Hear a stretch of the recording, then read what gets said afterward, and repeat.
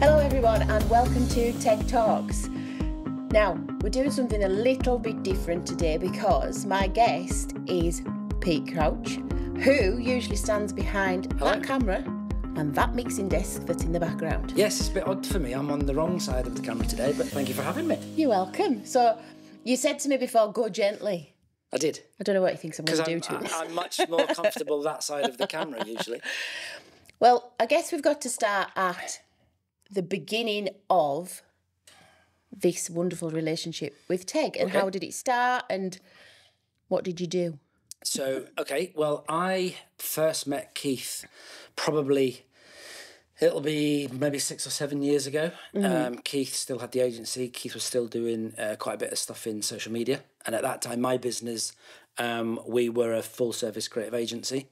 One of the areas that we we weren't strong in was social media. So I hooked up with Keith, and we did we did a bit of work together then, and, and we've stayed in touch ever since. And it's been great to see how he's gone on and developed the organisation that he has. So you've watched each other's evolve, Very much, haven't you? yeah, very much so. And there's always been a, a sort of good working relationship. Um, and then we have a couple of mutual connections that have kind of brought us brought us together. Um, and then as my business has changed over the, the last couple of years, um, I thought I'd, I'd seen what was what was happening in Teg. I'd seen the progress that that um, that was made, and I was doing um, a sort of um, intermediate role for an organisation that Keith came in and delivered the Teg game to. Okay. I was part of the leadership team in that business, and it was the first time I'd seen anything like that. And Keith facilitated the uh, the game, which got us all very much out of our comfort zones. Really enjoyed it, and it kind of sparked off the conversation again. Um, I was keen that that Keith came and, and saw the facility that we got here, and that's when it started really. And then Keith said, "Right, we need to get Jenny up to, to have a look because she's going to have a million ideas when she sees this place." Not like and Jenny. then between us, we um we sort of uh, came up with the idea that it would be good for Teg to have its own podcast. Mm-hmm. Um, I didn't realise then that I would actually be, end up being on it, but hey, there, there we go. We take no prisoners. You all stay on. so yeah, it's uh, it's a relationship that's sort of developed over over a number of years, really, and glad to see that you know we've, we've brought it together doing this. It's been a real bit of fun. Yeah, because today uh, it's it's quite hard to describe, but for those of you who are watching, you'll get a better idea of what we're actually surrounded by. But for a listener, um, I wouldn't even know where to start apart from saying that this room that we're sat in is enormous and full of the most wonderful gadgets and gizmos. And where we're located and what you can offer is probably beyond the wildest dreams of most people living around these parts because it's not just what you can see and hear.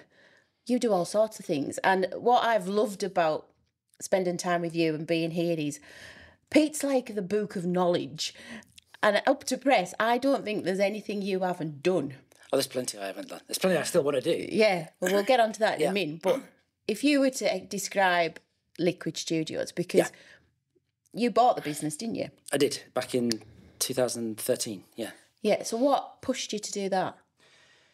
Um, well, I suppose how far do you want to go back? But uh, the sort of brief history of, of, of my sort of professional career. This you is like. your life very without much. the theme tune. Um, so I spent probably about 15 years of my life in the corporate IT world, uh, in sales and marketing and IT. Worked for some small companies, worked for some very big European companies. And over that amount of time, just got a little bit disillusioned by the whole industry. Um, I was working for a big European company. Um, my daughter was very young at the time. I was away from home probably at least three nights a week, and I just had enough of it. yeah. Um, so I thought, right, I need to do something else. You know, I, I kind of got a bit fed up with the whole corporate world. I came home one night and said to my wife, I'm going to leave. I'm going to do something else. And it actually took me probably the best part of two years to um, get the balls to make the decision. And I decided that I would just start a photography business, thinking, how hard can it be? I'll give that a go. I'd always been a keen amateur photographer. Um, and then I actually bought a franchise to, to start with. Um, so we did a lot of uh, event photography, corporate events, sporting events, all sorts of stuff really. And that sort of got us into the, the, the business of. So of did that franchise have an existing team?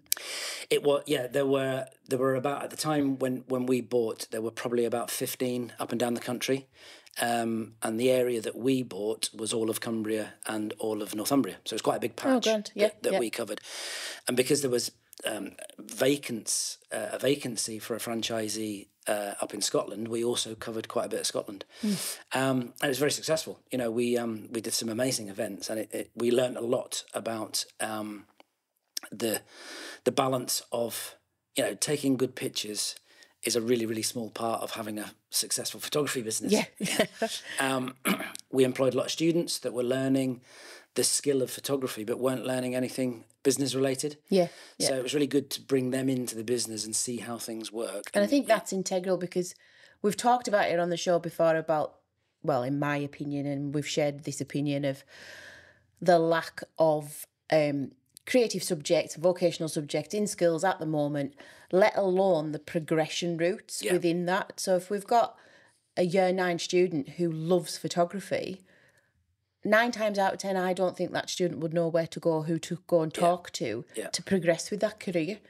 And we've we've done it here as well. We've had somebody in to say about work experience who was working with Teg yeah, because you like I've, I've kind of touched on we've touched on this is so much more than just a studio Well, one of the things that I'm really keen to do here, and that, you know, we, we've spent a lot of time, we've invested a lot of money in, in sort of getting the facility the, the way that we've got it, is that from a creative perspective, um, there's there's lots of individuals out there that, that want to do something creative, but there's a there's a there's a lack of um, the the sort of coaching and mentorship that comes along with taking whatever it is that you're good at, whether it's photography, whether you're a painter, whether you do what you know. The, what I have seen in in the last sort of however many nine episodes or so that we've done of these, the amazing people that have come in have got an idea.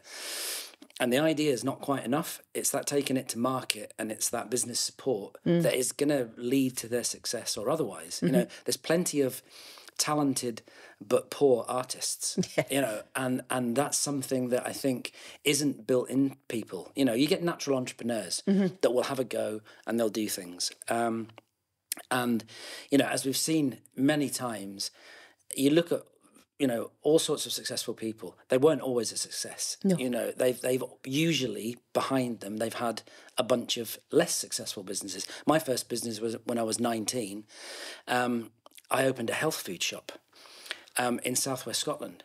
You know no surprise it was an epic failure. Uh, I, I, I borrowed a grand off my mum and dad to open a shop and i kept that running for about a year. It was it was i it was too early. Yeah. Um, the boom point had, hadn't happened hadn't happened at all.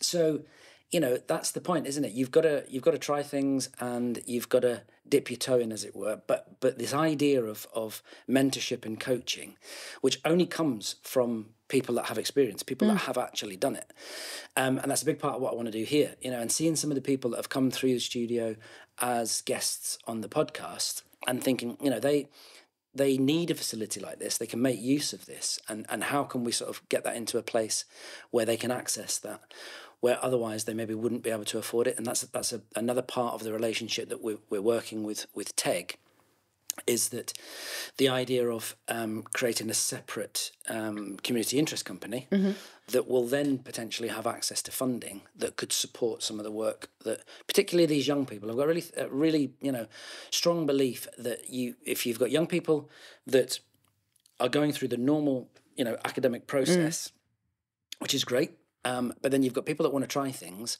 you know if they're lucky enough to have parents that can support them or or at least coach them and guide them that's amazing. But they're, they're going to need external support as well. It's not. Of I, I don't yeah. think it's you know just enough from your family. I mean, I've worked with with with my family, and it and it comes with its challenges. So Yeah, external supports. It's things Massive. like, for example, when we first met, we talked about because I'm a product based business, product photography, Yeah, and the standards certain e-commerce websites put on makers like myself to have amazing product photography. And at the end of the day, when you're a one man band, as we all know, you're an accountant you're um, You've got to wear all the hats. you're doing the marketing, you're doing the PR, you're doing the making of the product, you're sourcing the product, ordering this, and then you oh well, you need to take brilliant pictures. We cannot be absolutely outstanding at everything. Whereas we spoke and you, you were like, we could do this, you could do that, and I was like, but it's got to be affordable yeah. for makers because we haven't. This is our like bread and butter.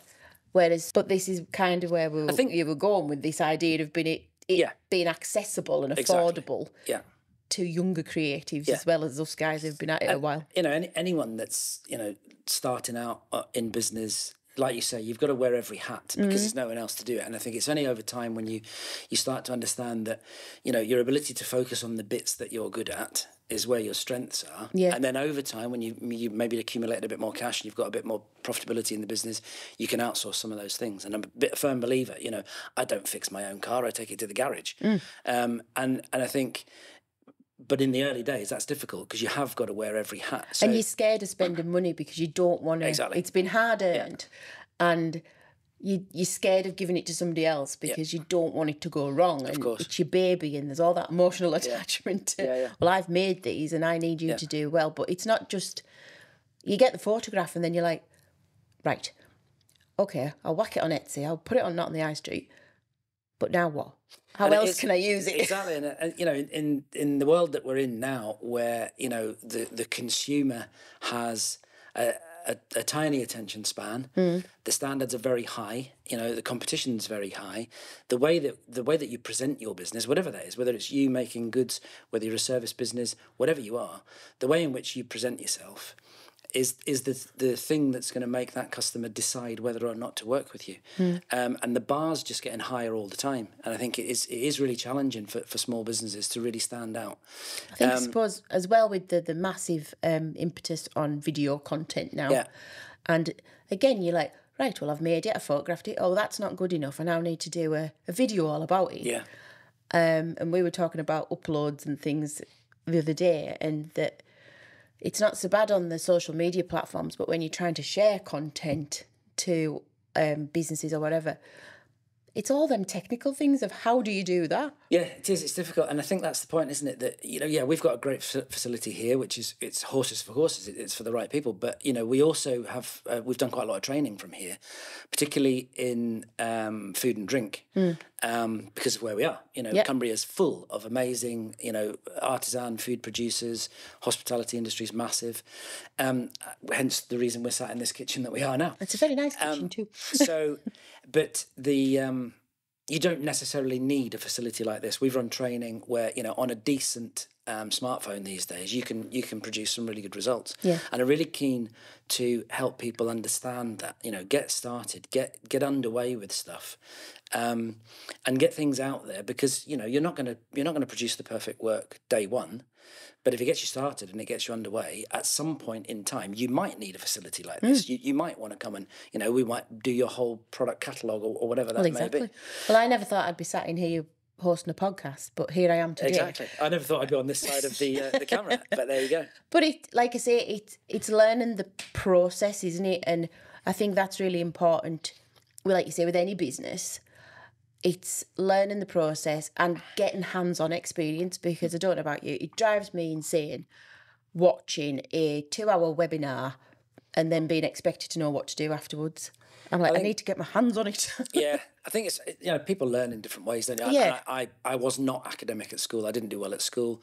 I went on to college and, and I studied business, but I've never been particularly academic. I, I learn by doing things. I'm the same. Um, I've never been a big reader, which is hence the, the podcast. When podcasts first came around, I started listening to podcasts probably, I don't know, 10, 12 years ago.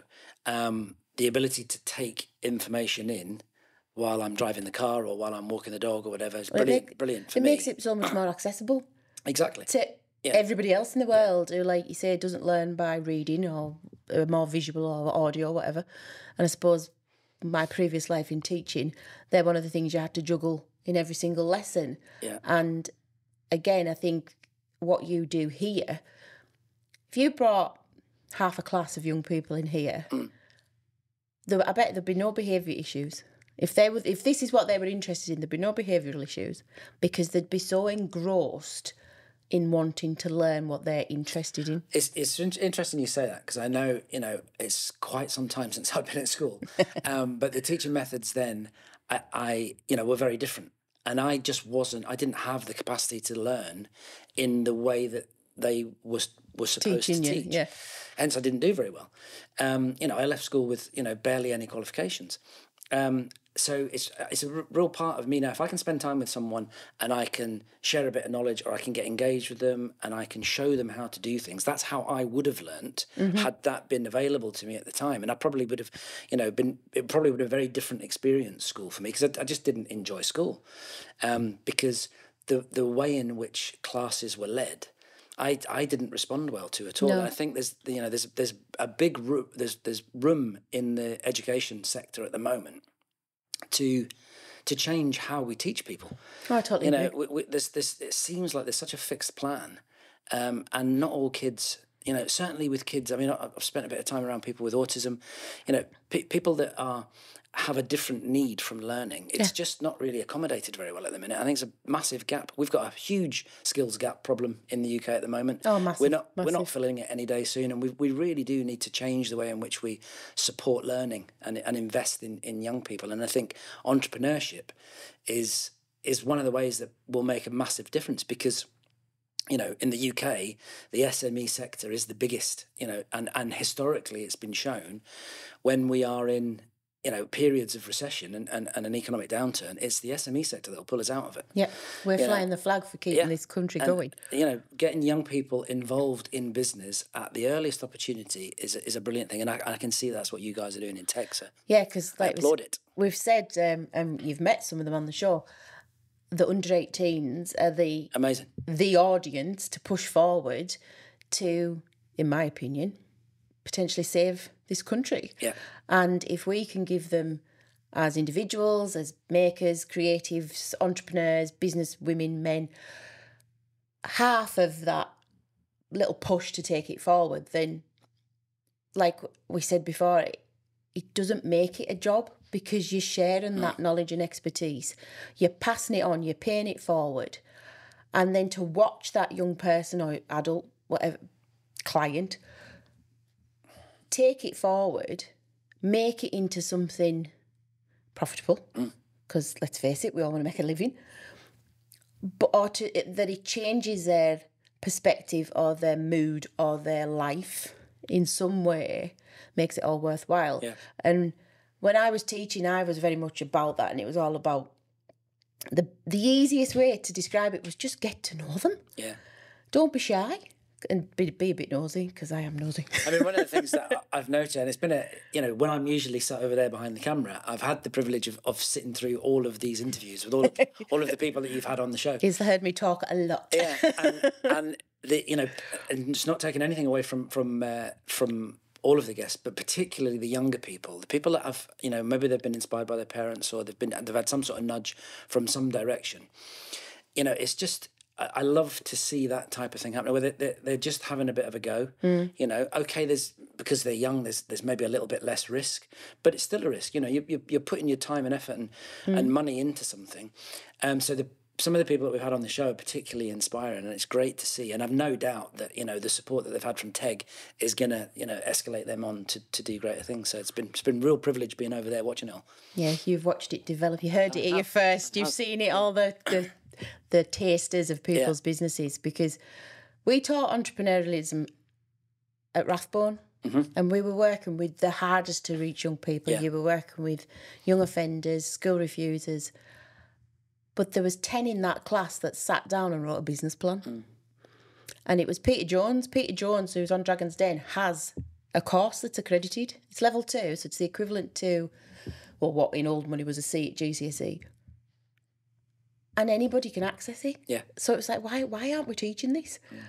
Because not everybody's going to go down the specific route. We need think to give people the option. if you look at you know the traditional route into academia is that you know people do well at school they go on to university and then they continue their studies to become a, teacher or a mm. lecturer. Those individuals have never run a business. You know and i'm not taking anything away. I couldn't do the job of a teacher. I don't not not in in the sort of traditional format anyway.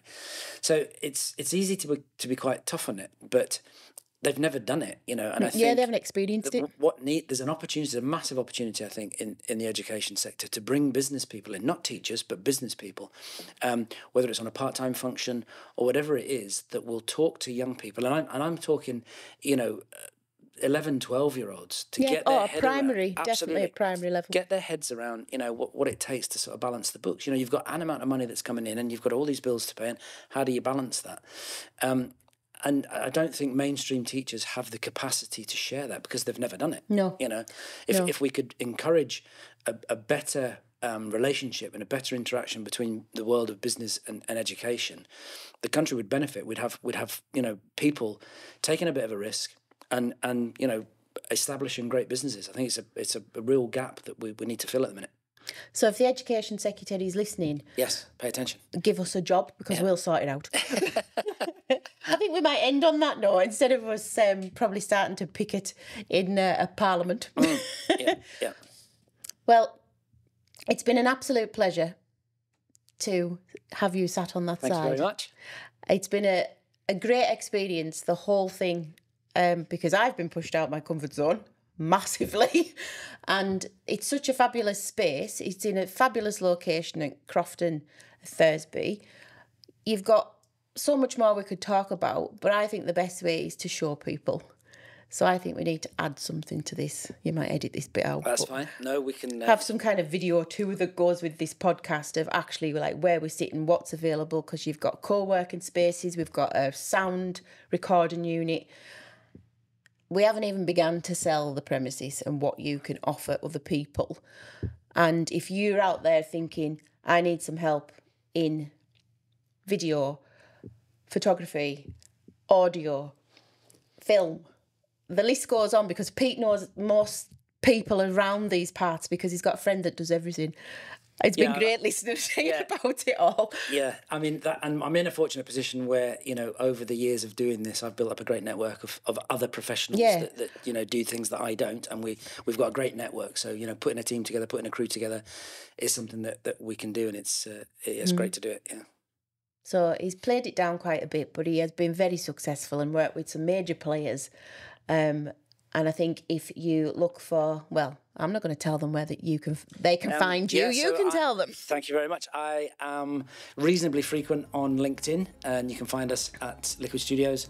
And the website, which kind of explains what we've got here and, and what we can offer, is uh, liquidstudios.co.uk. Excellent. So go and find him, find out what he does more, and um, I'm sure we'll see and hear more from you in the future. Thank you very much. It's been a real privilege being part of the show. Excellent, thank you. Well, there you go, folks. That is Teg Talks. It's been great. It's been an adventure, and it's definitely been a bit of a journey for me. So we'll see you soon. Bye. a Liquid Studios production.